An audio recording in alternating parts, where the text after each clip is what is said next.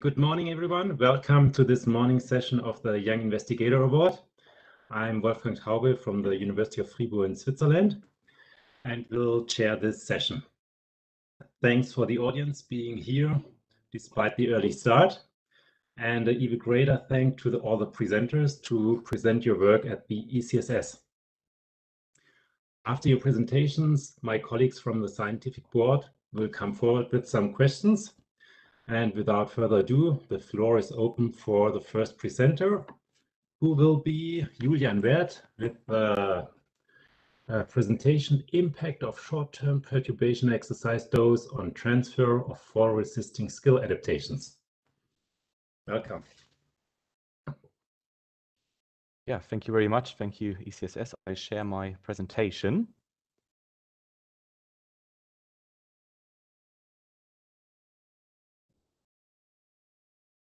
Is it visible?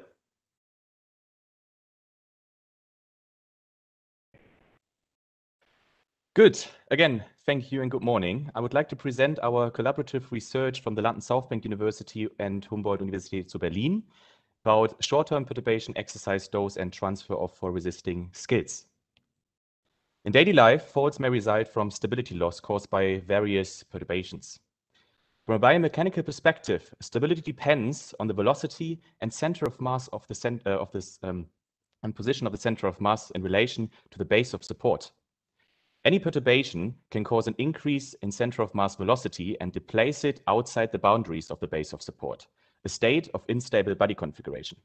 Without any further reactive action, a fall is likely to occur. And one of the main stability control mechanism is to increase the base of support and hence to decrease the center of mass velocity and regain a stable body configuration. Thus, rapid stepping can be seen as a crucial skill to resist falling. Since human locomotion faces a variety of stability challenges, it seems beneficial that skills to control stability are generalizable between various perturbations in order to resist falling.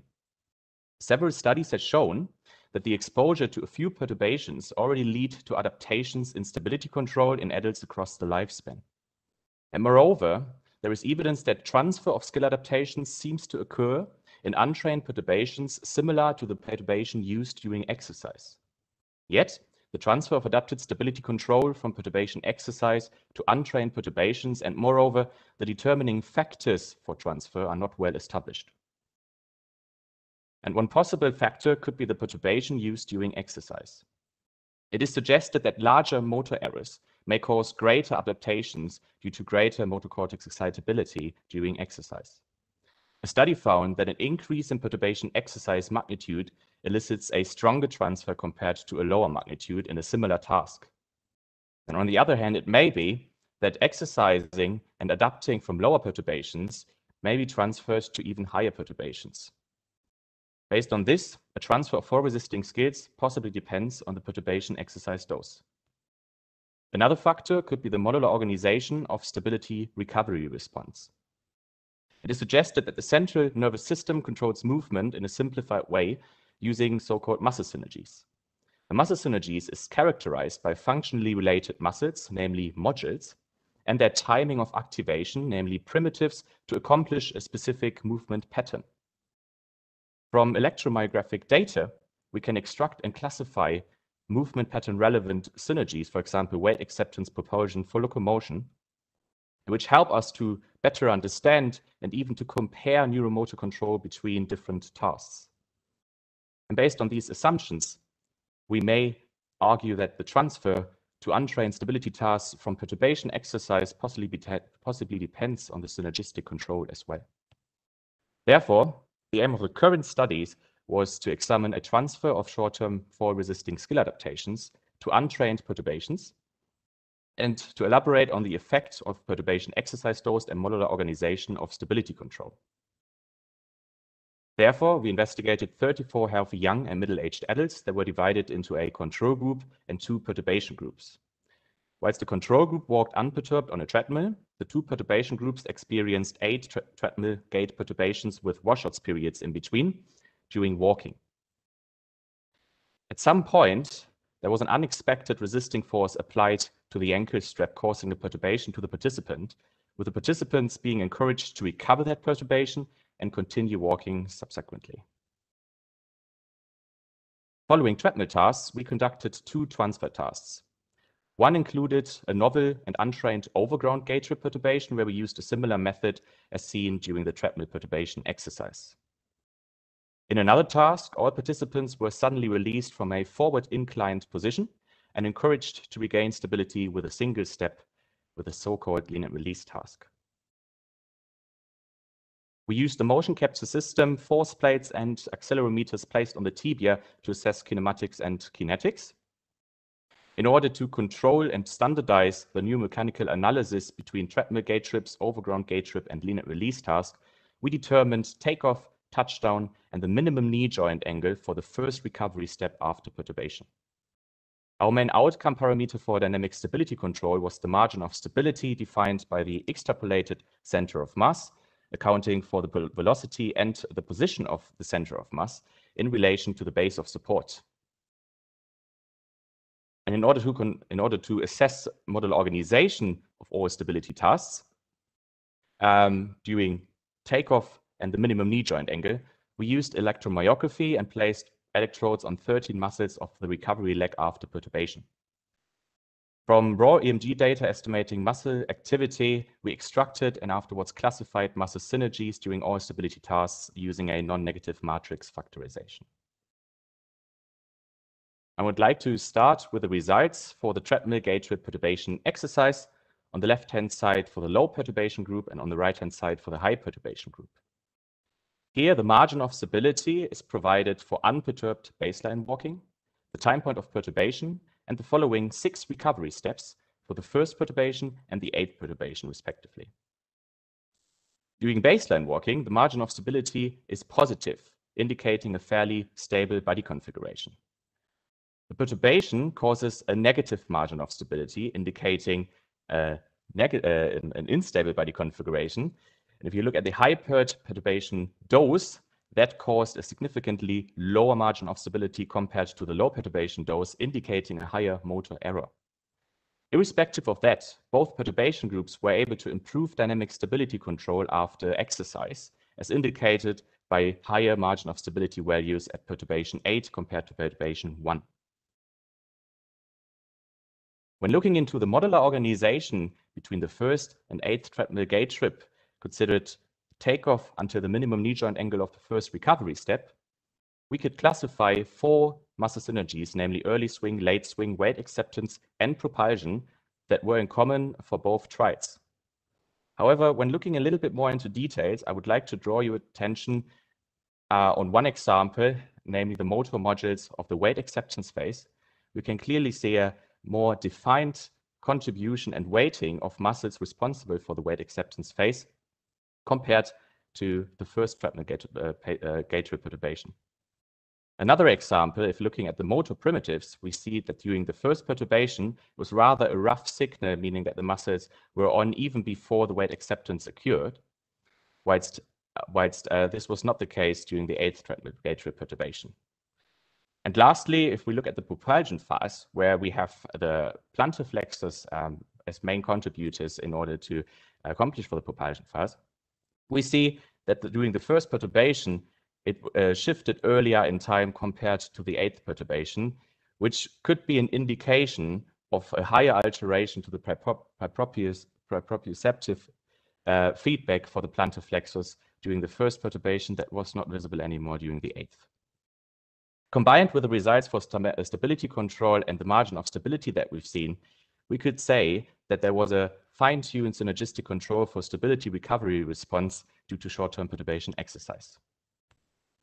Coming to the lean release task, we investigated uh, the margin of stability at time point of release and time point of touchdown of the first recovery step. There were no differences between all groups for the demand on stability control, namely the time point of release. And moreover, we did not find any significant differences in the margin of stability at time point of the first recovery step at touchdown, show, uh, indicating that there was no transfer of perturbation exercise training um, compared to the control groups. And if we look into the modular organization and compare the eighth treadmill gait trip and the lean and release task, we did find indeed two common synergies, namely late swing and weight acceptance. But again, when looking a little bit more into detail, and I would like to refer to the motor modules again, we see that it was modulated differently compared to the treadmill gait perturbation tasks. Besides, the other two synergies were different in function. For example, the propulsion phase was not visible for the and release task as it was not as it was caused by the task instructions. Altogether, we show evidence here that both tasks seem different due to a distinct synergistic control for recovery response, and this possibly limits inter-task transfer, although they share an anterior recovery step after perturbation. And finally, I would like to draw your attention on the results for the overground gait trip, where we look at the margin of stability at baseline walking, perturbation, and touchdown of the first recovery step. Between all groups, we did not find any significant differences in dynamic stability control at baseline walking, and neither for the dynamic Uh, for the stability demand at time point of perturbation. However, both perturbation groups showed a significantly higher margin of stability at touchdown of the first recovery step compared to the control group that indicated an enhanced dynamic stability control in an untrained overground trip following treadmill gait trip exercise. And in summary, there was an adapted stability control from short-term gait trip exercise via a refined modular organization due to adaptations. Furthermore, there was a transfer of improved fall resisting skills to an untrained overground trip. And lastly, we found that skill generalization is affected by task-specific neuromotor control, but not by the perturbation dose in the study. We conclude that the neuromotor system partially transfers adapted fall resisting skills to untrained perturbations, whilst the generalization not being affected by an increased perturbation exercise dose. Thank you for your attention. Thank you very much for this very nice and clear presentation. Are there any questions? If not, I will start with the first one. I did not get the exact difference between low, high, and the overground trip, low perturbation, high perturbation, and overground trip. Uh, what was the difference exactly? Um, yes, so the difference first between low and high perturbation was that we used a different amount of restraining pull uh, with our perturbation device. Um, that is namely, um, it was 55 Newton and 114 Newton. Um, no one can say whether this is, makes actually a difference to the um, demand on stability. Um, it's just a force, a number of force. We tested it in pilot studies already, and we found that there was a huge difference um, in the margin of stability at time point of perturbation when we compared low and high perturbation. Yeah. And overground, what was? Um, overground, the overground perturbation consisted of one um, of one perturbation only. Um, I have to state here that we used a similar method uh, where we used a res restraining, restricting pull on the on the ankle mm-hmm. um, that yeah restricted the ankle or the the foot from moving forward um, for for the swing time, and then we released it again. But there we did not distinguish between high and low paired. Thanks. One last question from me, then I hand over. Was it possible during your, your learning phase or acquisition phase that they anticipated the perturbation, that they did a weight shift to the back or something before the perturbation occurred? Um, we did not find this during our first perturbation. Um, we did not look into uh, the the entire overall eight perturbations yet, but uh, what we've seen in the past is that there might be a, a shift from uh, from from feedback response to a little bit of feed forward response um, that that might have been possible, um, but we did not directly look into this in our current study. Okay, thanks a lot. I know that Olivier has a question. Yes, thanks a lot for this nice presentation. Uh, I'm interested in the reason why you chose to define the perturbation magnitude as the force uh, applied uh, for the perturbation. Intuitively, what I would imagine is that the recovery from fall depends on uh, the capacity to recover from uh, an unexpected event. So why not, for example, define the perturbation magnitude as, uh, I don't know, the timing or the number of perturbation or the direction of perturbation, mm. rather than the force of the pull? Um, in terms of the uh, um, in terms of the number of perturbations, uh, for instance, we um, already did research in the past and we found that it, adaptations or adaptation and also retentions are um, are depending on the perturbation uh, on the number of perturbations you apply into a training. So one perturbation, for example, is not enough. Um, it, it, needs to be a specific amount of perturbations. So in this study, we did not want to go with a number of perturbations, but we, we decided for one specific aspect, and this was uh, the force, not because of the force, but rather because we, so, we saw that there was a way much lower margin of stability when we increased the restraining pull. And we took this as a, as a hypothesis to say that the motor error um, in order to recover afterwards would be higher. Um, and furthermore, in, due to pilot studies, uh, what we saw during overground tripping, for example, is that the overground trip, when we look at the margin of stability again, was similar from from from uh, a stability, a dynamic stability um, uh, perspective compared to the hyper perturbation group. So we wanted to test it against it, um, and hence why we chose the force um, as as our criteria. But obviously there are um, mediolateral perturbations possible um, or, or, some else, but this was not the scope of the current study. Okay, one last very short question, Marcus.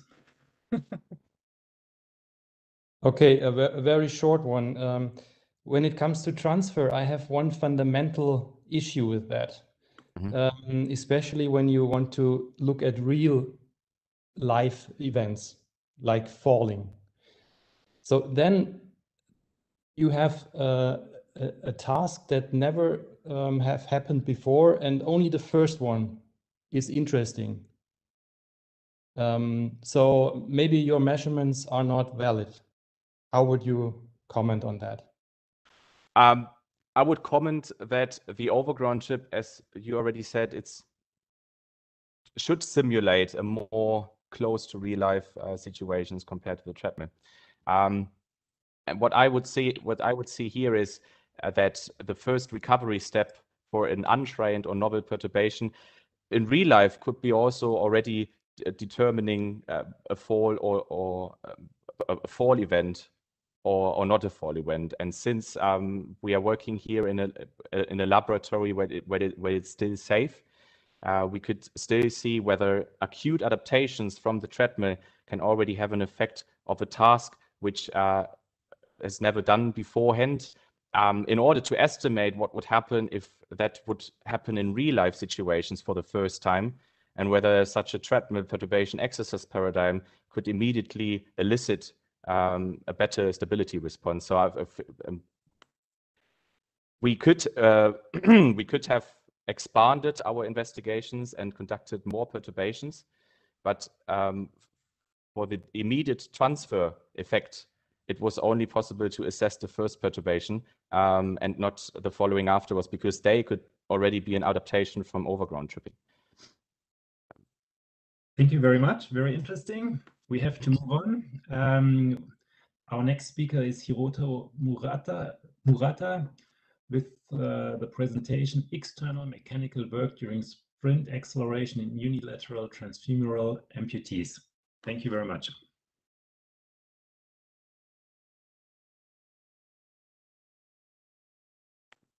We don't hear you. Do you? I see my screen. Can you hear me? Yeah, the screen is okay. perfect. Now we can hear you. Perfect. Okay. So thank you for your kind introduction. Today, I'd like to talk about energetics of sprint acceleration after leg amputation. So as seen in Tokyo Paralympic Games, carbon fiber running specific prostheses have enabled unilateral transfemoral amputees to compete in sprint events.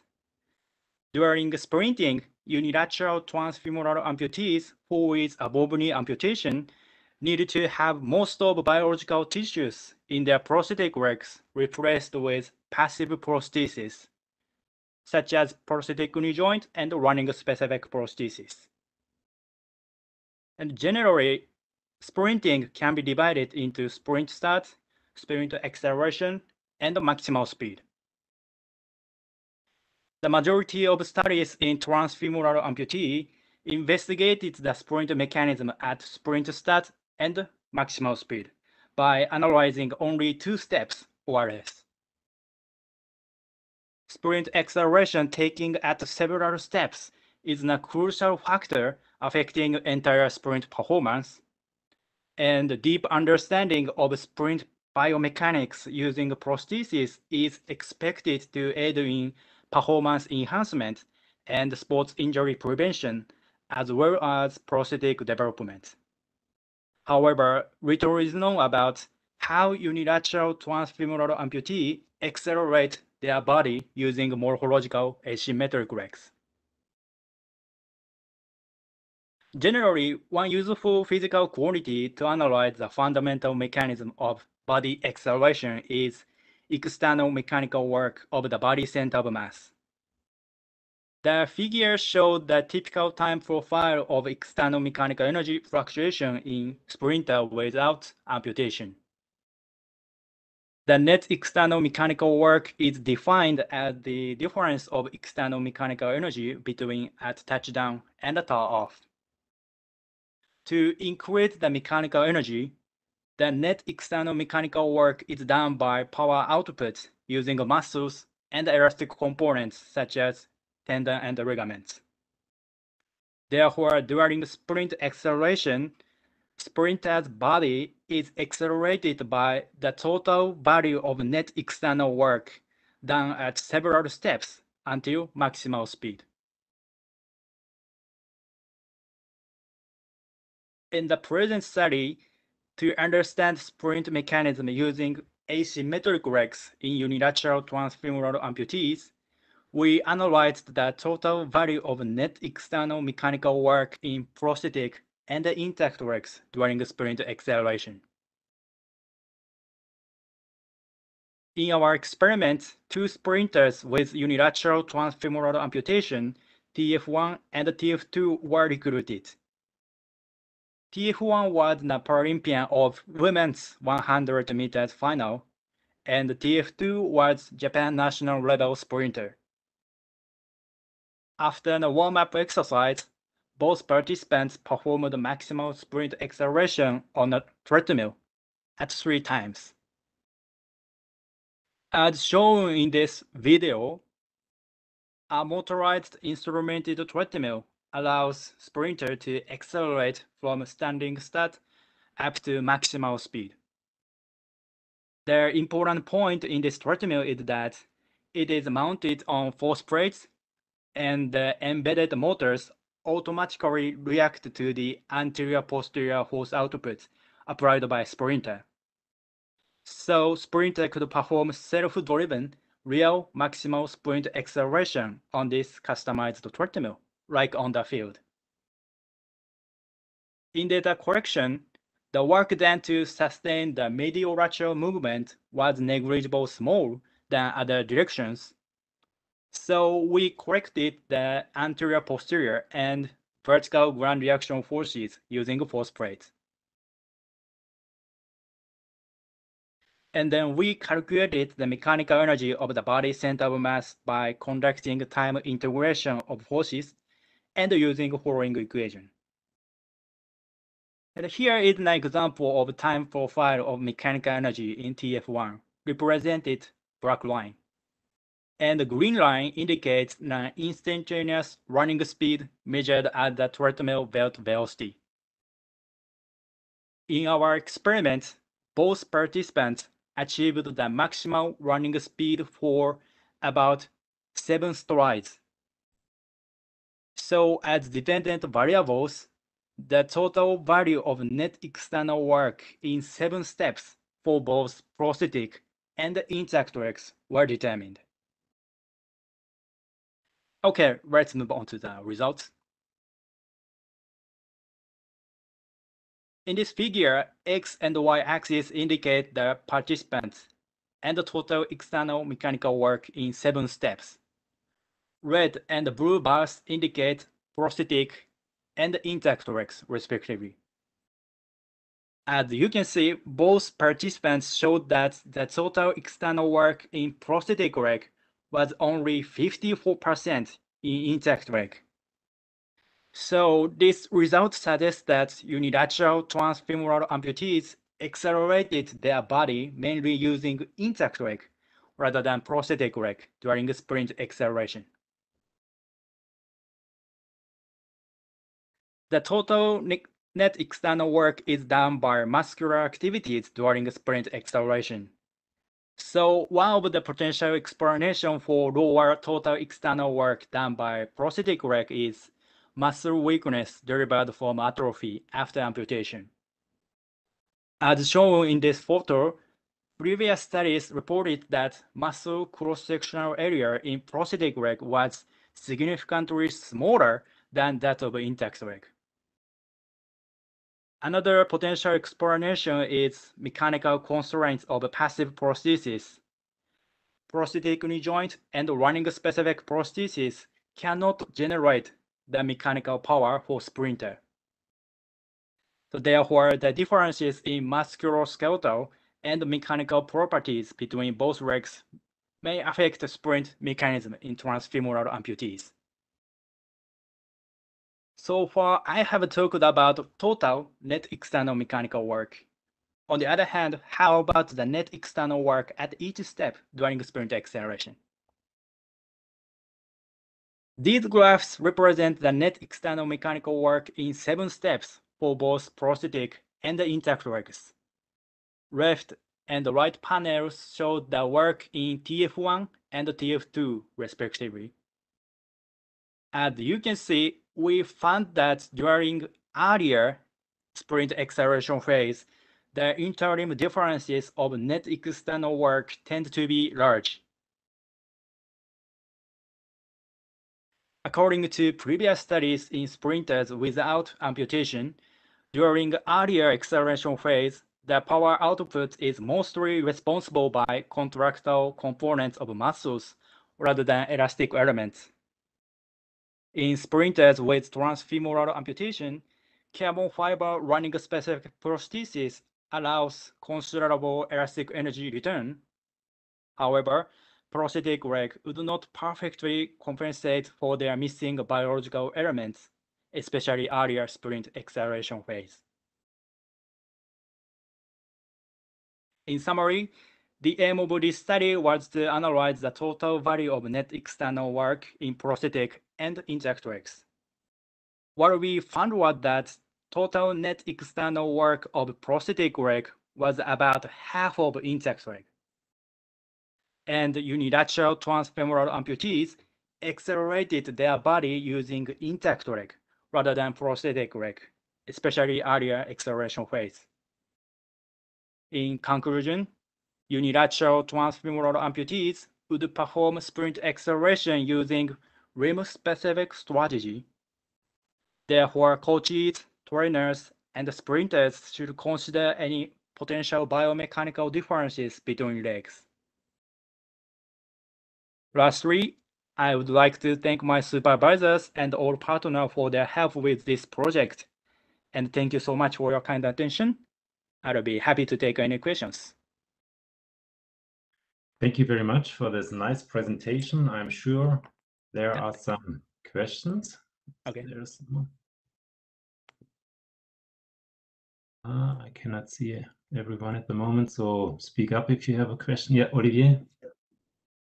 Yes, thank you. Uh, I was wondering whether um, whether you had given any thought about the suitability of the mechanical properties of the prop of the prostheses that you've used, whether uh, this is something that you can uh, tune relative to, I don't know, for example, the force or the of the. So in, yeah. So the property of the prosthetic leg.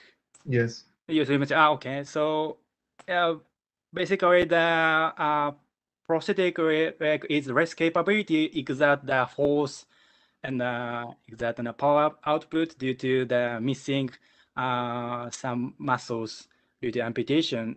Yeah, so they they have uh, disadvantage to exert the external mechanical work in prosthetic legs. Yes, but what I meant is that, for example, if you have uh, mm -hmm. a stiffer or more compliant uh, material, Ah, Okay. you would get Yeah. uh, different output, right? So the mechanical properties such as the stiffness or Yeah, for example, so I Uh, was wondering how, how you decided about these mechanical properties or whether you had any choice at all. uh, in uh, practice, uh, they choose the uh, based on their body mass or and uh, activity level, and uh, doctors or medical practitioner uh, decided to the uh, stiff and uh, shape and uh, height for their uh, uh, patient uh, with uh, wearing prosthesis. So it is based on body mass. Yeah, body mass. Yeah, and activity level. Yeah, Okay. Thank you. yeah. Thank you very much. A similar question. Are the athletes Okay. allowed or do they have the possibility to test different prostheses? Because as Olivier said, one might be better for the acceler- uh, acceleration phase, one might be better for the high speed phase. So do they test them and then choose the right equipment for them or? Yeah, it's a good point to uh, discuss our results. And uh, in our study, uh, they use uh, their own prosthesis. So yeah, there is a possibility to the uh, difference of prosthetic factors effect on their sprint performance. Yeah, but uh, we uh, at the future work and yeah, we want to determine the effect of prosthetic factors on their sprint performance. Are there any other questions? Otherwise, I would have a question from long jump because there I think it's beneficial if you take the prosthetic, leg Prosthetic leg, to yeah, uh, yeah, to right. jump because there you have a better recoil effect. So yeah, right. um, could you also imagine that during sprint you have an advantage? Which phase would you have? I yeah, I see that especially in the earlier acceleration phase, the uh, sprinter with prosthetic um, may have the disadvantage compared to the uh, sprinter without amputation uh, because due to the missing biological elements such as muscles and elastic elements. Yeah, but during uh, maximal sprint acceleration or uh, takeoff steps during long jump, so the elastic element is very important for their uh, gait mechanism. So that maybe the uh, energy, high energy storage and the restore capabilities in running a specific prosthesis is yeah, may benefit for them during the running and the sprint, uh, not longer jump. Yeah. Any other questions? Biomechanics? No. Okay, then thank you very much for your very interesting presentation. And we will move on to Chris McCrum uh, with the presentation Type 2 muscle fiber properties show little association with balance recovery following large gait perturbations in young and older adults. The floor is yours. Thank you very much for the introduction. Can you hear me? See, yeah, Yes. okay, great. Um, so I'm going to present today um, results from a secondary study from a, a much larger project um, where we were looking at types of muscle fiber properties and reactive balance. I'm going to start just by mentioning something we're probably all aware of. The lower limb muscle tendon unit properties decline with aging. And there are many examples of this in the literature. Here's just one from a review we performed a few years ago of studies looking at both muscle and tendon properties. And we see that in older adults compared to younger adults, there are typically 20 to 30% reductions in muscle strength, tendon stiffness, uh, and tendon Young's modulus in the lower limbs. And this obviously has implications for locomotion as we age. We also know from lots of literature spanning uh, quite some years that lower leg muscle strength, muscle power, and muscle quality have all been linked to falls in older adults, either retrospective falls or prospective falls. It's also been well established since about the 1960s that most falls occur due to large mechanical disturbances like slips and trips while walking. Uh, and this uh, is for all ages, but of course the consequences of falls are more drastic for older adults. Um, from uh, laboratory-based studies, we know that leg muscle strength shows small to moderate correlations with balance recovery, Uh, and this is one reason why uh, strength training is purported as a, a, fall reduction intervention. But the most recent Cochrane uh, meta-analysis reported that strength training alone as an intervention does not significantly reduce falls in daily life in older adults, only when combined with other training such as balance training. Uh, muscle mass declines with aging um, have been reported to be mostly due to muscle uh, fiber type 2 uh, atrophy. And also when we do strength training interventions, the restoration of muscle mass is again mostly accounted by uh, type 2 muscle fiber hypertrophy. Um, there has been one study that has linked um, type 2 muscle fiber atrophy in older women with uh, hip fractures as the result of a fall, where women with a fall-related hip fracture had more type 2 muscle fiber atrophy than older women who had no hip fracture due to a fall. So for all of these reasons, the aim in this study was to examine whether or not type 2 muscle fiber characteristics uh, associate with reactive balance during walking in young and older adults with a range of muscle fiber type properties. And again, based on what we know from these kind of indirect and observational studies, that there would be a small to moderate relationship between type 2 muscle fiber characteristics and stability recovery following a large perturbation during walking. And this was looking at muscle fiber size and also the proportion of the muscle fiber types and the number of recovery steps needed following uh, an, a novel unexpected perturbation. So for our participants, um, we took uh, participants from the larger study that I mentioned before, uh, all participants who underwent muscle biopsies and completed the walking perturbation experiment in the larger study were included, uh, and this gave us the participants you see on the screen.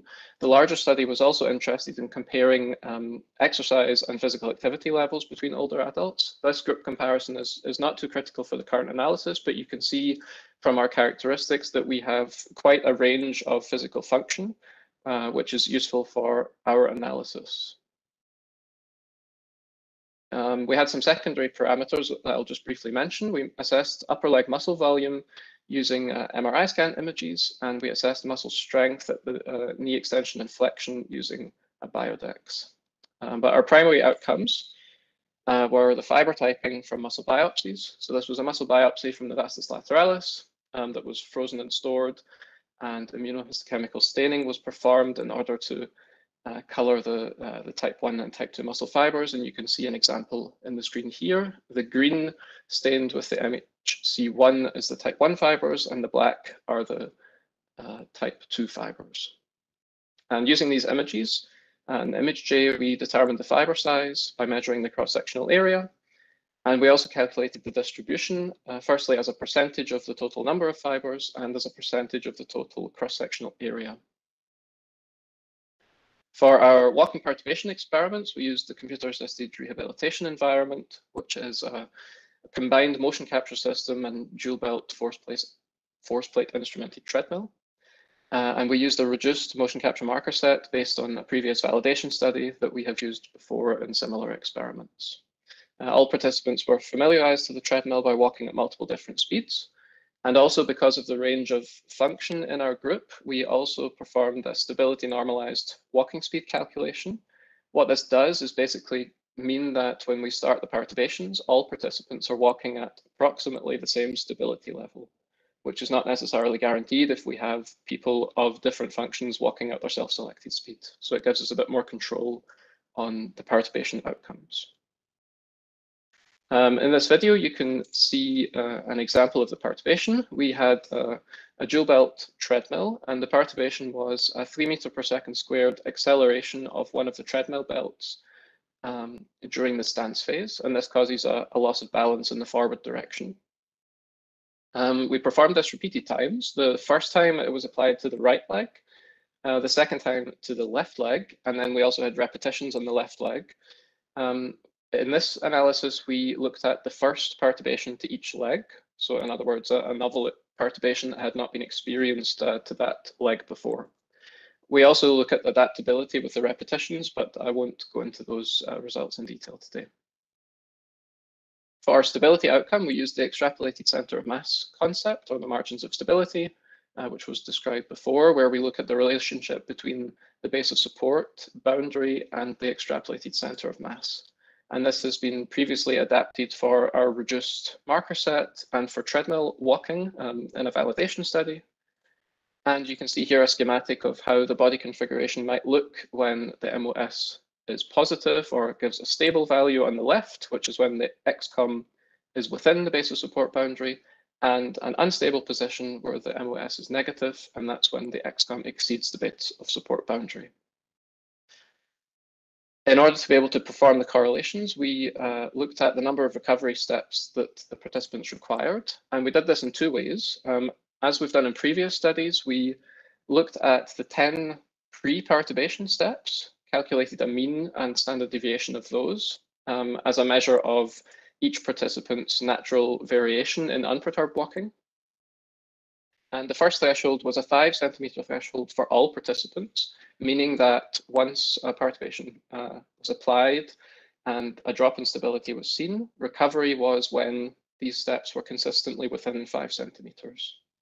However, again, because of the range and function, um, there's quite a large range in baseline variability, meaning that this set threshold might not really apply for all. So we also used an individual threshold, which was three standard deviations. Um, and as you can see as an example here, using these two methods, you would get a slightly different number of recovery steps. However, there's no gold standard or consensus in the literature for the best way to determine this. So in our results, we used both of these methods uh, and reported uh, uh, the outcomes of both. So firstly, um, I, am showing the results of the muscle fiber characteristics. Again, as I said, for this current analysis, the group comparisons are not the most critical thing, but it's uh, good to note here that uh, the three figures show um, the fiber content percentage, the mean fiber cross-sectional area, and the cross-sectional area percentage from the type 2 fibers. And what you can see is that there's quite a large range in each of these within and across the groups uh, which is useful for our correlation analysis because it means we have a very uh, diverse sample. Um, and just worth noting that, of course, the trained older adults who were predominantly endurance trained show a lower percentage of their cross-sectional area coming from type 2 fibers, as you might expect. Also looking at the recovery steps for the perturbation 1 on the top uh, two panels and the perturbation 2 on the bottom two panels, either using the standard threshold or the individual threshold. We didn't see group differences here, but what you can see is that there's a large range uh, in the number of steps that people required, which is again useful for our correlation analysis. For those correlations, we performed Spearman correlations on the three fiber type properties and these four uh, recovery step criteria. And as you can see, we found no significant correlations and even the R values were small and going in both directions in order to just, uh, well, confirm these results, we also performed correlations between the perturbation recovery and these other muscle parameters that we measured. And again, we saw similar things. We had 20 correlations here in total and only one was significant, which is exactly the type one error rate. So really not much uh, association here. A few additional results that we used just to check. Um, if we exclude the young adults from this analysis, it didn't change the general outcome. So we maybe could expect some age-related differences playing a role, but that doesn't appear to be the case. And we did check that the fiber characteristics and the muscle volume and strength characteristics were strongly and consistently associated. So we are confident that our measurements are uh, measuring what they should. So just a few conclusions. Um, type 2 muscle fiber properties are not significantly associated with reactive balance recovery in this walking perturbation task. And upper leg muscle volume and strength also fail to show a significant relationship. Now, what does this mean? Well, it means that strength testing or training that primar primarily targets muscle tissue properties may not capture critical elements of muscle function relevant for reactive balance control. And this may uh, give some explanation for the meta-analysis results we see in the literature looking at strength training interventions, if these interventions have only used very general like weight uh, resistance machines that don't really train any of the functional characteristics of muscle contraction relevant for gait and stability recovery. Uh, finally, I would like to acknowledge the, the co-authors and also the larger study team uh, and the research group, as well as people who contributed to uh, the manuscript that we're working on and measurement and technical support, and of course the broader project funders.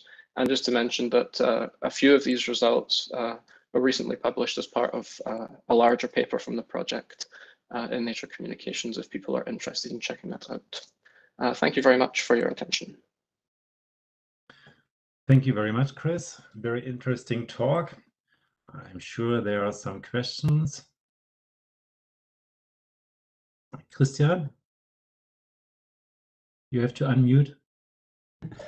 Sorry. Thank you for a very nice uh, presentation. I was just wondering whether you were surprised by these uh, findings. Uh, and also, uh, did you look into, uh, I know this is not a part of you, this study, but did, did you look into the tendon mechanics and maybe also you could elaborate what, what of the role that might play into these findings, perhaps? Um, well, to your first question, uh, were we surprised? Um, I was surprised. We had hypothesized a small to moderate effect. Mm. And although this was a secondary study, we did do a sensitivity power analysis, and we were Mhm. powered to measure uh, effect sizes of Cohen's d of 0.4 and above, so somewhere between a small to moderate effect. Mhm. And our correlations at the moment were not corrected for multiple comparisons, and we still saw very few. So that it was surprising that the rate of significant Mhm. correlations was so low. Mhm. Um, for the second one, in this study, we didn't look at the tendon mechanical properties. Um, from the a few previous studies in our group um, with uh, Gaspar, Dr. Gaspar Epro's, PhD, we did also look at correlations between um, muscle strength and tendon properties Mhm. and the cable trip perturbation, Mhm. and there there were there were small to moderate correlations, obviously Mhm. because the, the tendon then has an influence on how the muscle strength or the tissue properties can be acted on the joint. Uh, but here, these were not included in the analysis. Okay. Thank you. Um, I have a I have a question too, if time Sorry. allows. Yeah, if sure. So so um, thanks for a very nice presentation and, and very interesting data here.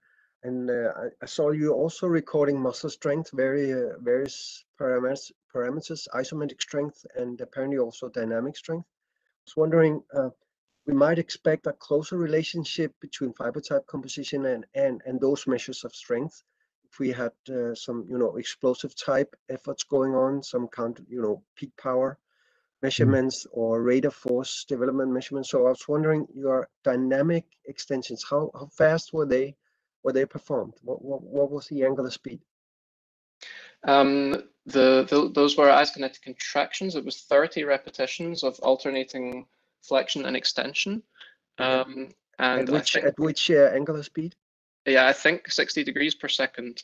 Which is slow. So it would It's- have been slow, interesting. Yeah, yeah, in, interesting to have 180 or 240 degrees per second, since we Yeah. know that the peak torque in those fast, rapid contractions correlate uh, quite nicely with the type 2 fiber area percentage. Yeah, that's true. But it is worth mentioning that even at those slow contraction velocities, the correlations with the fiber properties were very strong. Yeah, and that's that's uh, really interesting. So, so if nothing else, you should uh, definitely consider publishing those data, whether or not it will be linked uh, to to to the remaining body of data that you present today. Yeah. Yeah, thank you. One last question from Marcus. Yeah, Chris, thanks for the nice presentation. I I might have an explanation for the results. So you had the wrong participants. So what we see is always uh, like there's a critical threshold when correlations come come into play. So maybe they were too strong. Uh, Um, yeah, that, that, that could be. Um, the other possibility is that our specific perturbation simply didn't require um, particularly high muscle forces for recovery. Um, we saw previously that some of the tasks like lean and release um, in previous studies where we did see correlations with muscle strength values, those are generally slower and they're not during ongoing walking. Our perturbation was also not particularly high intensity. It didn't actually cause falls, it just caused a loss of balance. So I think these two things interact. Firstly, our participants were mostly relatively healthy, although we did have some physically impaired older adults, but they were much fewer in number. Uh, also, uh, the particular characteristics of our perturbation might mean that the maximal muscle strength or the rate of force development is not, in that situation, one of the most critical factors. So that that's that's true. It's worth keeping in mind. Okay, thank you very much for the interesting discussion and the presentation. We move on to Bas van Hooren uh, with the presentation towards more effective training, a biomechanical comparison of three hamstring exercises. You have to unmute. Yeah. We can't hear you. Now you should be able to hear me. Yeah, perfect. All right. Uh, my name is Bas van Hooren from Maastricht University Department of Nutrition and Movement Sciences. And in this talk, I will present one of my PhD studies where I did a biomechanical comparison of three hamstring strengthening exercises. So for those of you who are not familiar with the topic, I just want to quickly highlight that hamstring injuries are one of the most common and severe injuries in sports that involve high-speed running, such as soccer or athletics. It's therefore important to see how we can better prevent and rehab these injuries. And if we want to prevent hamstring injuries and accelerate rehab, we can look at modifiable risk factors. Modifiable risk factors for hamstring injuries include short biceps femoris fascicles, low levels of strength, poor fatigue resistance, and poor lumbopelvic control. In my study, I want to focus on just two of these risk factors, short fascicle lengths and low levels of strength. From previous research, we know that fascicle length increases mostly in response to eccentric exercises or exercise that load the muscles at relatively long muscle tendon unit lengths. To improve strength, we know that high mechanical loading is most effective. Now, there are of course many exercises that we can use to potentially modify these risk factors. But since clinicians or trainers or also researchers only have limited time, we want to know which exercise or exercises are most effective to train specifically what we want to train. However, currently there is only little knowledge on the contraction behavior or muscle forces during various exercises. Therefore, I want to compare three hamstring exercises on the amount of fascicle lengthening and the muscle forces they exhibit. And by getting more insight into these acute mechanisms, we can get more insight into the potential long-term effects of these exercises and use this information to optimize rehab and performance training.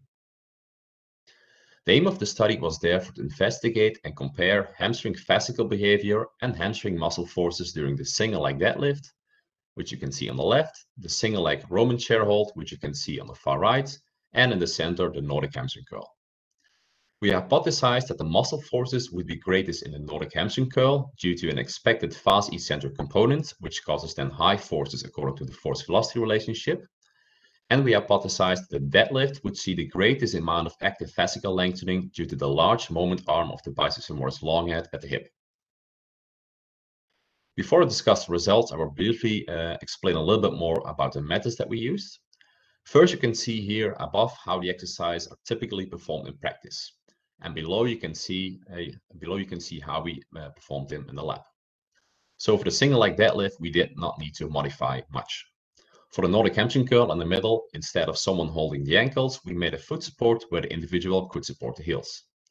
For the Roman chair, we used a custom-made Roman chair that we could place on a force plate. And we also uh, made a custom foot support. Then 10 participants performed each of these exercises at least three times in a randomized order. About five days prior to these experiments, they performed a 1RM test, at least four the deadlift and the single leg Roman chair hold, to assess how much weight they could lift, and this 1RM weight was used in experimental sessions. To capture ground reaction forces, I used for, uh, force plates, which are marked in red in each of the three images. So they were located below the dominant leg in the deadlift, below the knees in the Nordic hamstring curl, and below the pelvic support in the Roman chair hold, uh, as you can see. For kinematics, I used 15 uh, cameras, some of which are highlighted in blue in each of these images.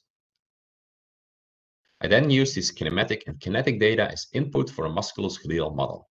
The model is first scaled to match the height and weight of the participant, as you can see on the left. The scaled model is subsequently positioned so that the markers on the model match the experimental markers in each frame with the inverse kinematics tool and this step also calculates joint angles, muscle tendon unit lengths, and moment arms. This information is subsequently followed by specifying the forces acting on the model to perform inverse dynamics, which computes the joint moments.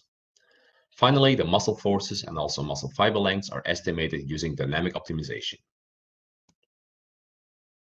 So in this slide, you can see, if I play it in a second, some synchronized videos of a subject performing an exercise and the corresponding musculoskeletal model for each exercise. First on the left, you can see an example of the Nordic hamstring curl.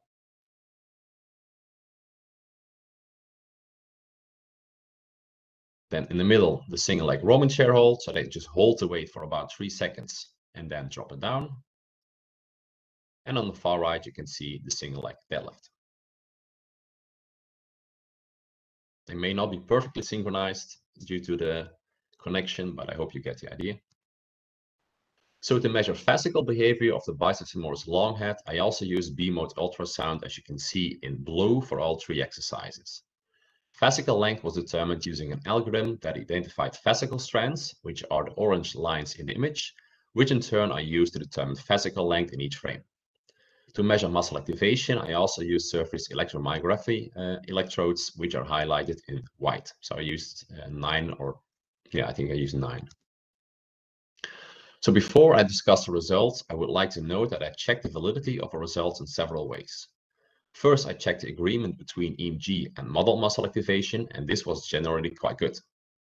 Second, I also checked the agreement between modeled muscle fiber lengths computed using the dynamic optimization and fascicle lengths using ultrasound, and these also generally agreed very well. Now then, on the right, you can see the most important results for each exercise. First are three columns, and each column is one exercise. On the left, you can see now highlighted in blue, the deadlift. Within this, uh, all these images, you can see also a gray area, and this gray area represents the eccentric phase as defined on the kinematics. In the middle now, you can see in green the Nordic hamstring curl, again with the gray area on the right representing the eccentric phase as defined on the kinematics. And on the far right, you can see now in orange the single leg Roman chair hold, with again in the gray area representing the eccentric phase based on the kinematics. Now the top row that's now uh, well not not highlighted, you can see the hip and knee angle for each exercise, and the second row shows muscle tendon unit length. But I don't have time to discuss these in this presentation, which is also why they're not highlighted. I rather want to discuss fascicle behavior, what uh, I measured using ultrasound. So if you look at the third row, which is now highlighted, we can see that mean fascicle length was highest in the deadlift and was also significantly higher compared to the Roman chair hold and finally the, hand, uh, the Nordic hamstring curl, which is also what we would expect based on the joint configurations. However, in contrast to our hypothesis, the amount of uh, active fascicle lengthening was actually highest in the Nordic hamstring curl, followed by the Roman chair hold, and only finally in the deadlift. Mean fascicle lengthening velocity was also highest in the Nordic hamstring curl, followed by the Roman chair hold and the deadlift. Another interesting finding was that about 82% of fascicle lengthening during the Nordic hamstring curl occurred during the fall. Now the fourth row shows muscle forces for three of the four hamstrings, and the lowest row shows EMG. Most importantly, the peak hamstring muscle forces were generally higher in the Nordic hamstring curl as compared to the single leg Roman chair hold and the deadlift. However, an interesting finding was that the peak forces for the biceps femoris long head and semimembranosus in the Nordic hamstring curl lasted only very shortly compared to the peak forces in, for example, a deadlift. And they were also associated with a very strong reduction in muscle activation, as you can see in the red arrow in the center uh, lowest image. So the four key findings are therefore that the Nordic hamstring curl has generally the highest peak hamstring muscle forces, but biceps femoris long head and semimembranosus peak forces coincide with low levels of muscle activation. Another important finding is that peak forces in the Nordic hamstring curl and Roman chair hold were higher or very close to hamstring peak forces reported during sprinting. Third, the Nordic hamstring curl resulted in more active fascicle lengthening and with a higher velocity than the single leg Roman chair hold or the deadlift, and finally, most fascicle lengthening occurred during the fall in the Nordic hamstring curl. So these findings have several important practical implications. First, the high peak forces combined with high muscle activation suggest the Nordic hamstring curl may be most effective to promote increases in biceps short head and semitendinosus strength. But the deadlift, and in particular the Roman chair hold, may be more effective to promote increases in biceps femoris long head and semimembranosus strength. And in support of this, Bourne and colleagues have shown previously that the Nordic hamstring curl leads to significant increases in semitendinosus and biceps femoris short head uh, cross-sectional area, but no significant increase in biceps femoris long head and semimembranosus cross-sectional area. Second, findings of higher muscle activation during sprinting compared to heavy resistance training exercises are often used to imply that resistance training cannot achieve the same hamstring loading as sprinting. However, the findings of this study show actually that some heavy resistance exercises can elicit comparable or even higher hamstring muscle forces as compared to sprinting. Third, based on the larger fascicle lengthening and higher lengthening velocity, the Nordic hamstring curl may be most effective to promote increases in fascicle length on the long term. And in support of this, a recent study by Marchiori and colleagues showed a larger increase in biceps femoris fascicle length when implementing the Nordic hamstring curl as compared to the deadlift. Finally, since most active fascicle lengthening occur during the fall, the Nordic hamstring curl might need to be supramaximal to induce falls, for example, using weights as shown in the right image below, while assisted Nordic hamstring curls using elastics, as you can also see in the right image, may be less effective to promote long-term increases in fascicle length. Also, this is supported by some findings showing larger increases in fascicle length with weighted Nordic hamstring curls or Nordic hamstring curls that are performed from a slight elevation, which automatically also means that there will be a larger fall as compared to assisted Nordic hamstring curls. With that, I would like to thank you for your, uh, your attention and I'm happy to take any questions. Thank you very much for your nice and clear presentation. Um, are there any questions? have a look around here. I have a, a quick starting uh, question. If, yeah. if uh, yeah, if, um, thanks a lot for a very nice presentation. Uh, really, nice data there. Um, I was a little bit confused on your graphs where you showed the eccentric, you marked the eccentric phase of the Nordic hamstring at the far right in a very short phase. I would kind of expect this to be the entire phase of lowering the upper body would be you you know eccentric muscle actions on, in terms of the hamstring. So, could you please explain that to me? Yeah, so, basically the, this gray area was defined based as when the fall was initiated. So that's how I highlighted uh, the image. So it's based on the kinematics. So when the, I think I used a trunk marker, when it was above a certain velocity, then we determined, okay, now it's actually the fall has started, the forward fall. And so that's what we, based on the kinematics, uh, determine as the eccentric phase.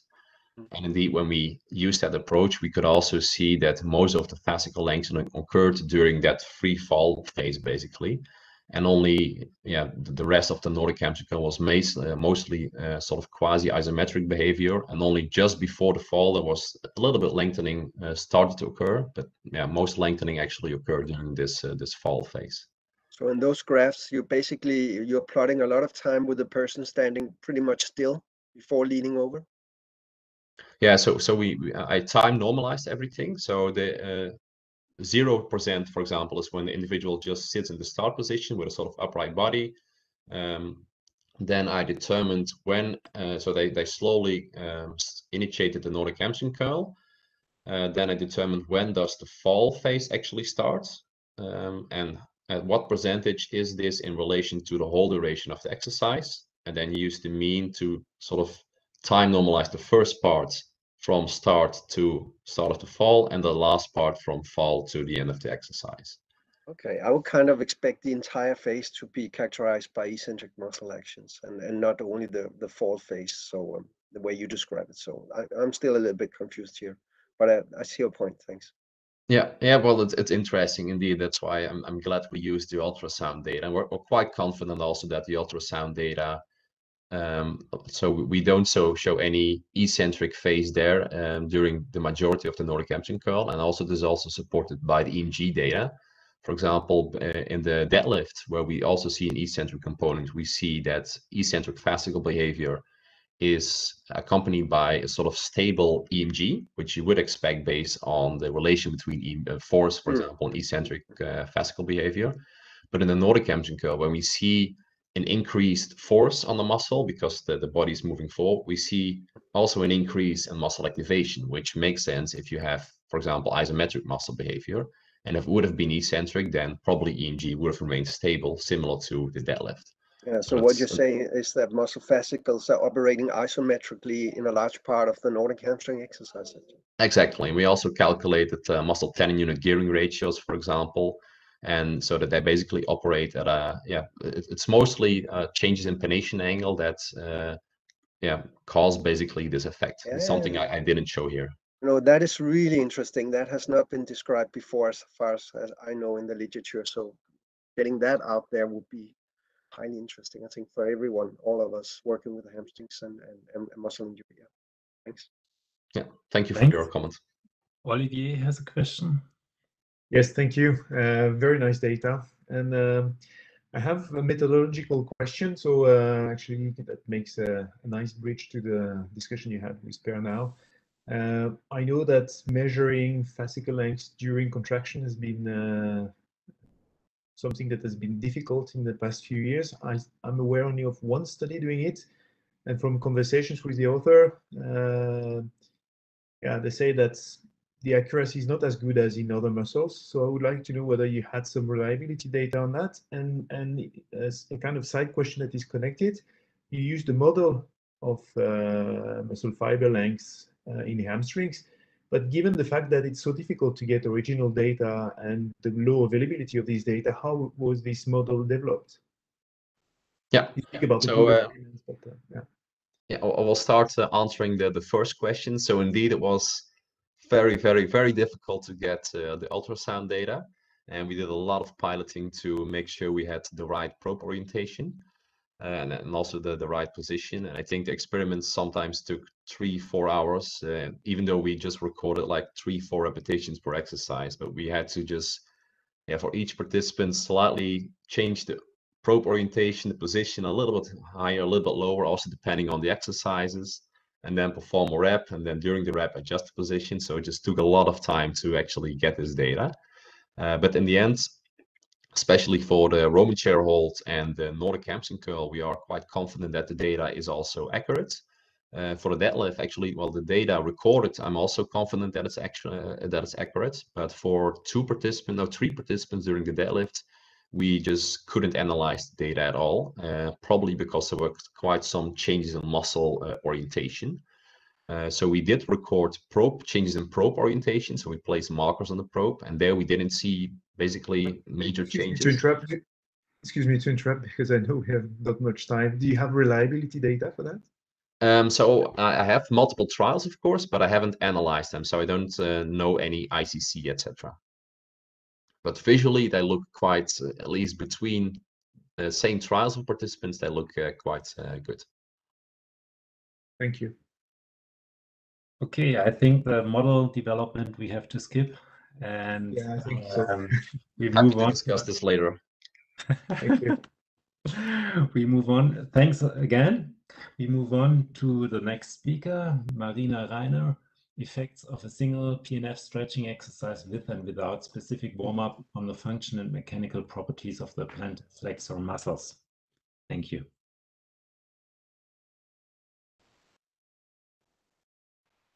Hi, everybody. Thanks for the introduction.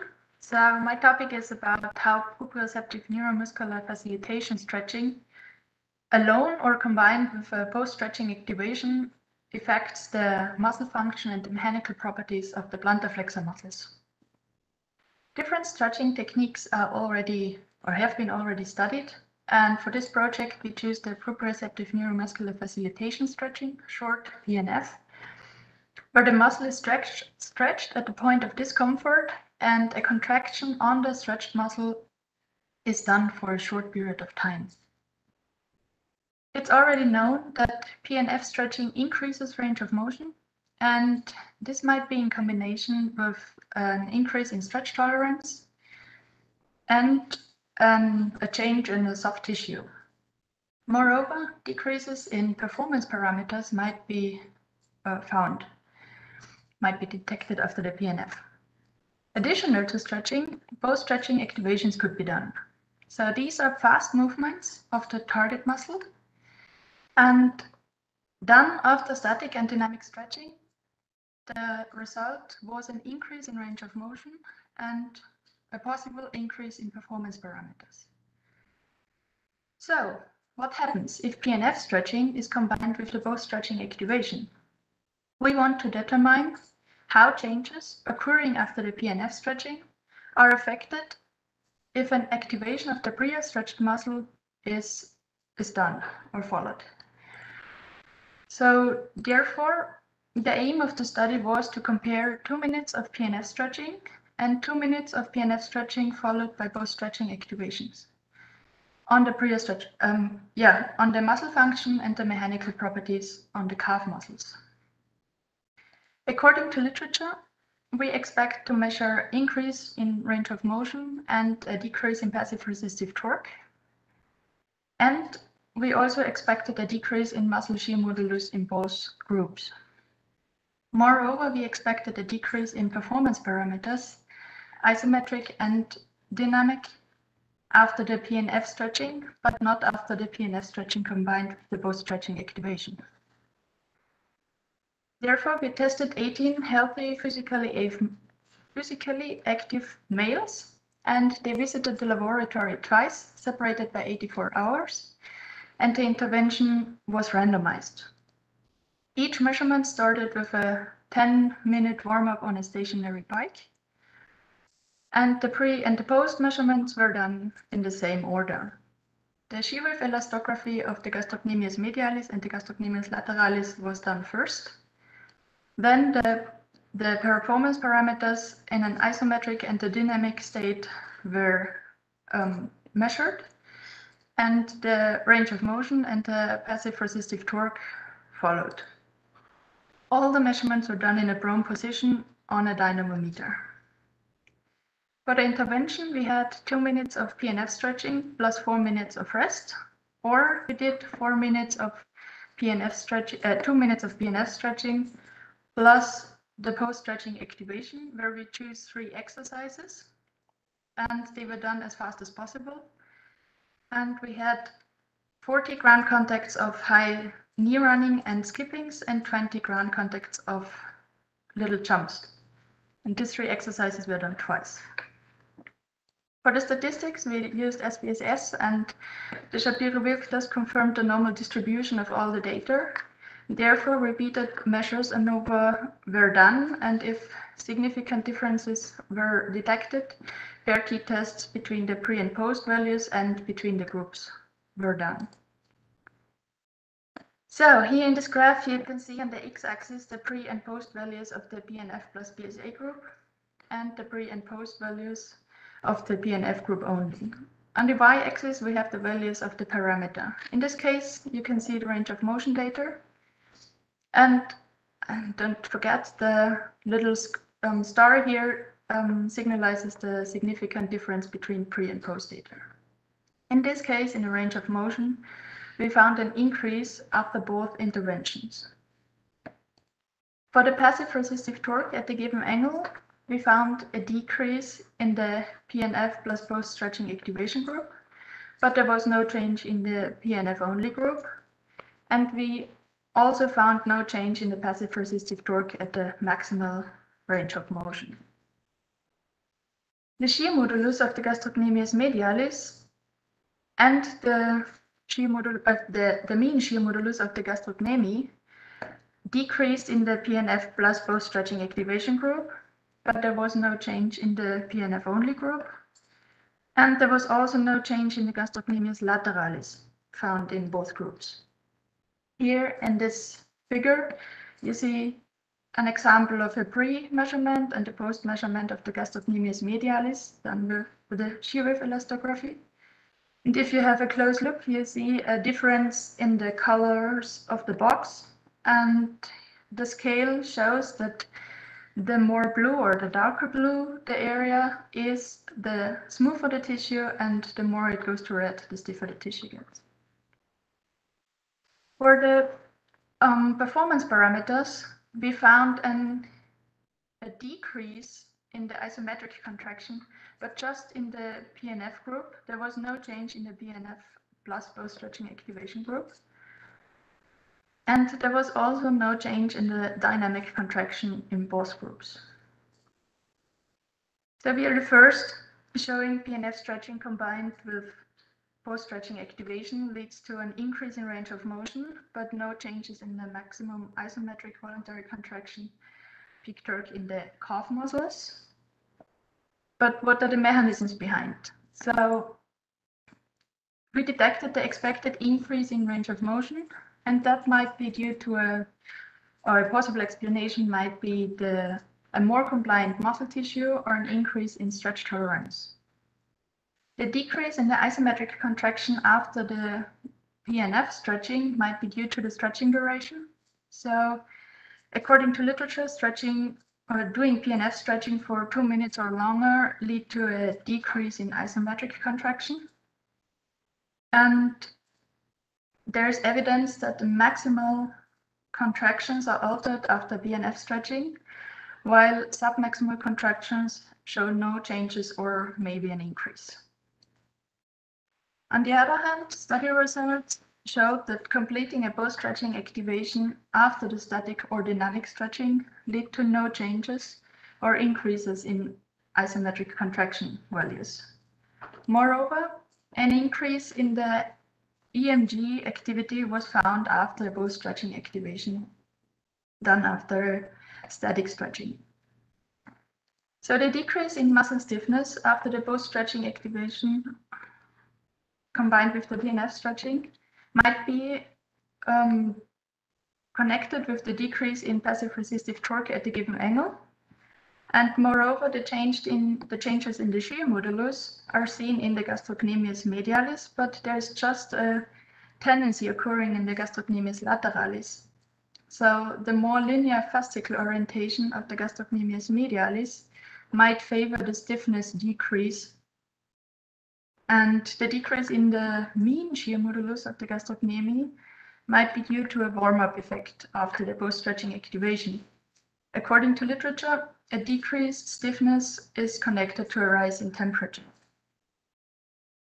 So to summarize, the PNF stretching in combination with the post stretching activation lead to an increased range of motion and a decrease the, in the passive resistive torque at the given angle. And the lower passive resistance to stretch explains the increase in range of motion. Hence, unsurprisingly, also the muscle shear modulus decreased in the calf muscles.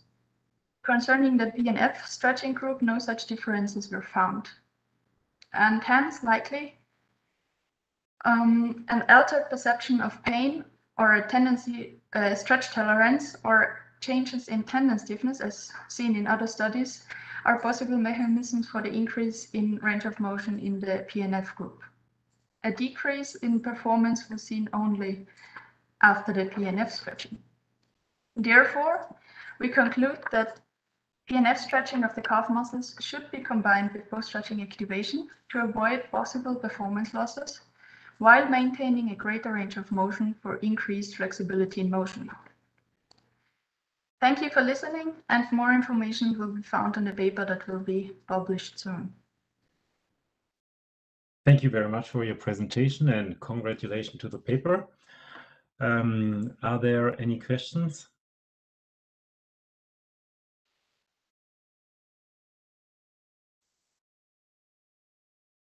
Marcus, isn't that your topic? I, I have a, I could start I could start with a question. Oh, Christian, you're yeah, you go ahead, Christian.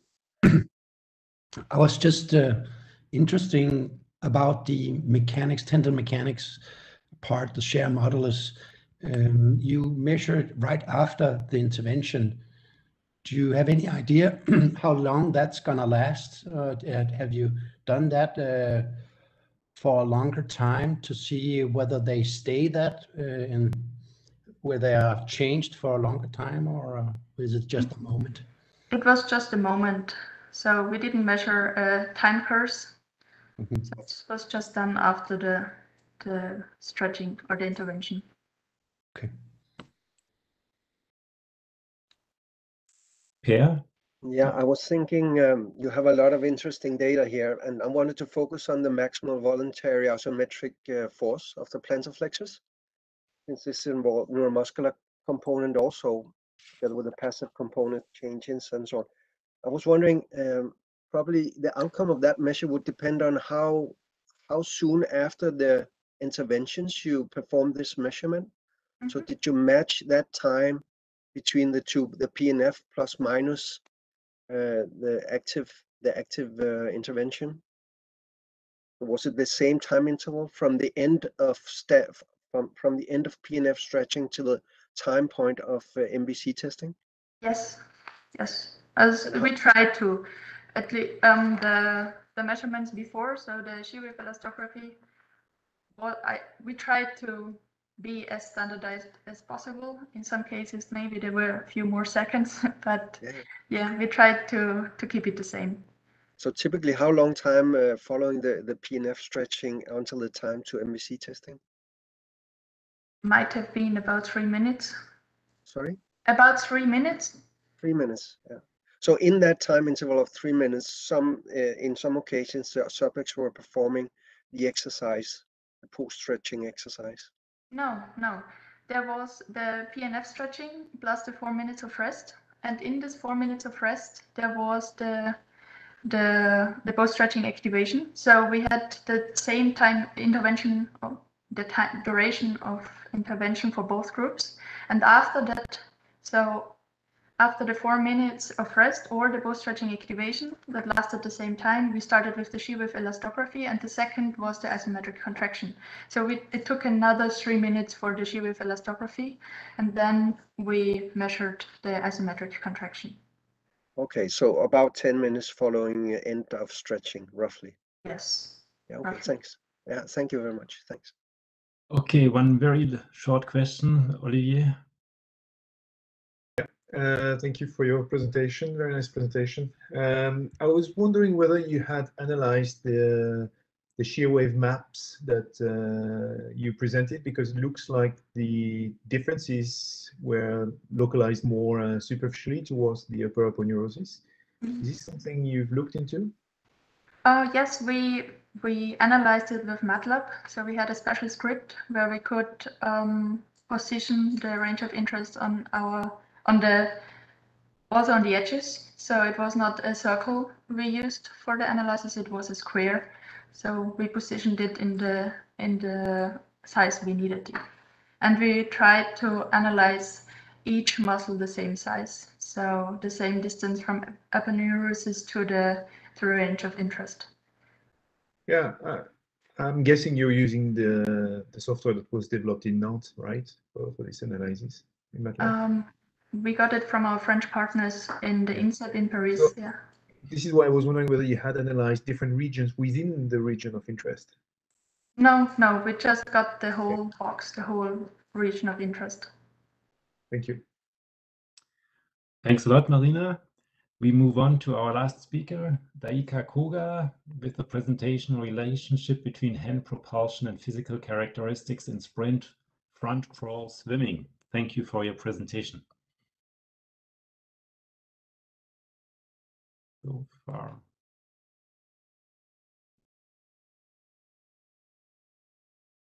We can see your slide. Yep, we can hear you. Perfect. Thank you for your introduction.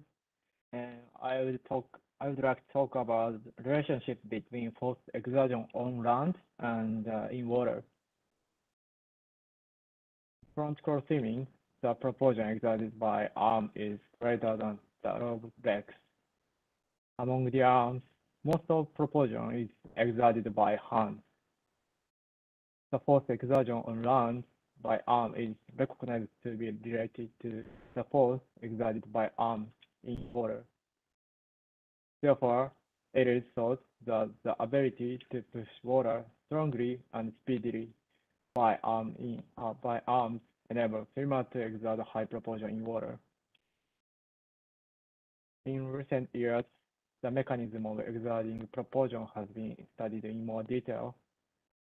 The force exertion by the arm movement uh, pushing water is based on uh, based on law of action and reaction.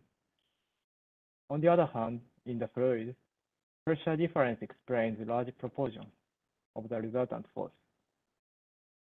Therefore, not only high pressure on pump side, but also low pressure on dorsal side is important. So low, the low dorsal pressure in water has been suggested due to unsteady water flow. For familiar examples, this phenomenon is one of the mechanisms of airplane flight.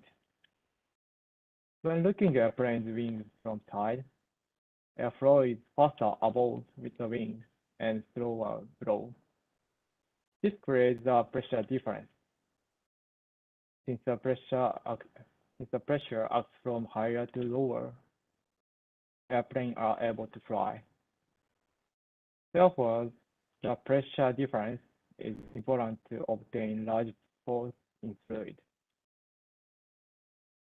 In fact, previous studies have reported positive pressure on palm side and negative pressure on dorsal side of hand in front crawl. it has also been reported that the dorsal pressure of hand is higher than palm pressure in absolute value. This pressure difference is resultant force, and the resultant force exerted to propulsive direction is propulsion. However, it is unclear whether the ability to push water strong and fast with arm is related to the height of and dorsal pressure in absolute value. Therefore, the purpose of this study was to clarify relationship between the and dorsal pressure. The participants were 70 male swimmers. They performed a 20 meter maximal effort swimming. For pressure measurements, six pressure sensors were attached on right hand. In addition to hydrodynamic pressure, hydrostatic pressure is also measured in water. Therefore, hydrodynamic pressure was calculated by subtracting the hydrostatic pressure from the to uh, measured total pressure. In three-dimensional motion analysis, 15 motion capture cameras were placed underwater. The angle of attack of hand was calculated by the angle between hand plane and the direction of hand movement. The bar dark that you see is large, and in this case, uh, it is small. In addition, the speed was also calculated. The resultant force hand was calculated by multiplying the pressure difference between palm and the dorsal side by same hand area. The propulsion of hand was defined as the force exerted to proportion of the resultant force. The propulsion ratio was defined as the ratio of the resultant force to propulsion. For the measurement of 1 m and the maximal mechanical power output in bench press, the weight and number of times were set in difference to the methods of Joseph et al. And uh, the barbell velocity was measured. For simplicity, difference 1 m was estimated from the weight lifted in the training. To calculate 1 m, a regression equation between weight and velocity was calculated. The 1M was set at 87% of LD0, which is theoretical barbell velocity is zero. The Pmax was defined as the mechanism, uh, maximum value in the quadratic trinomial calculated from the relationship between weight and mechanical power output. In statistical procedure, Pearson correlation coefficient was calculated to investigate the relationship between the two variables. Addition, investigate the to investigate the contribution of palm and uh, dorsal and the propulsion ratio to hand propulsion multiple regression analysis was conducted. Here is the result.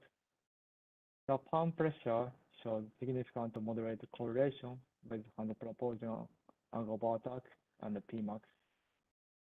The dorsal pressure showed significant high correlation with hand propulsion and hand speed. In multiple regression analysis, Propulsion was used as independent variable, and palm and dorsal pressure and the propulsion ratio were used as a dependent variable. The results showed that the standardization coefficient was highest for dorsal pressure. A discussion. The moderate correlation between palm pressure and the angle of attack suggested that when the angle of attack is moderate or more, the pressure received by pump from water becomes higher. On the other hand, when the angle of attack is small, the pressure also becomes lower. This result supports the result of previous study. In addition, since pump pressure is correlated with Pmax. The higher the power to push water with high angle of attack, the greater the reaction force from water. Then, so the ability to exert higher power on land enables swimmer to generate greater propulsion. The variable which has the greatest effect on height of propulsion is dorsal pressure, followed by propulsion ratio, while palm pressure have low effect. Since dorsal pressure has a low correlation with 1N and Pmax, it seems that height of strength power on land is not main factor of the magnitude of propulsion in water. Therefore, improvement of dorsal pressure is more important than palm pressure to improve propulsion. At the end, the purpose of this study was to clarify the relationship between physical strength and pressure. In conclusion and the main findings, Pmax of bench press was related to palm pressure. The pressure had a relationship with 1M and P, but had a great effect on propulsion. Therefore, further research is required to identify the variables that affect dorsal pressure in more detail and look for strategy to increase propulsion. Thank you for your attention. If you have any question, I'd appreciate if you could speak. Thank you so much. Thank you very much for your presentation.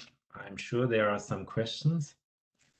Um, around, are there any hands? The, ah, Jan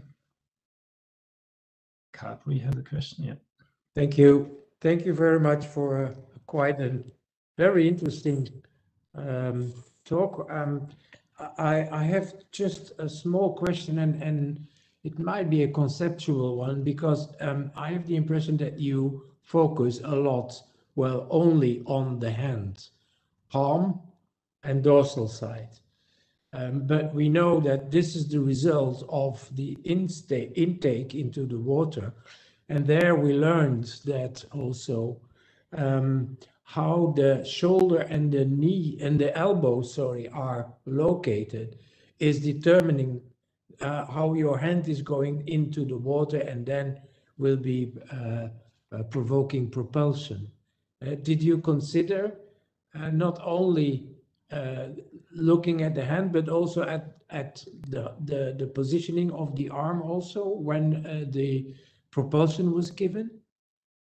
Uh, yes, I Thank you for your question. And I we didn't uh, consider the the other part of uh, like uh, forearm and arm because in in recent years our our team could establish the way of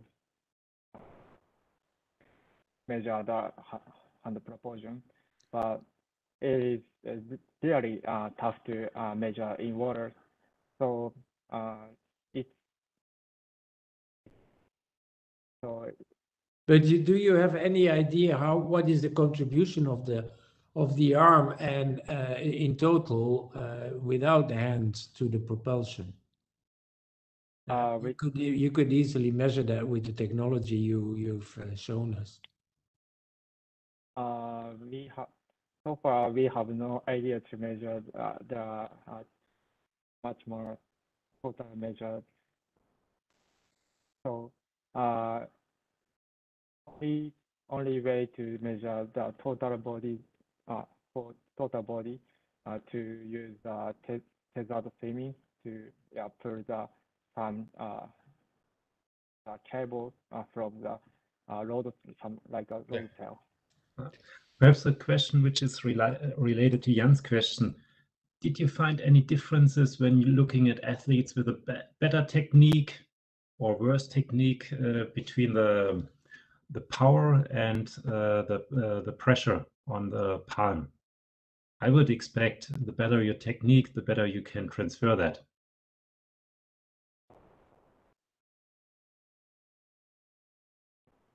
I think uh,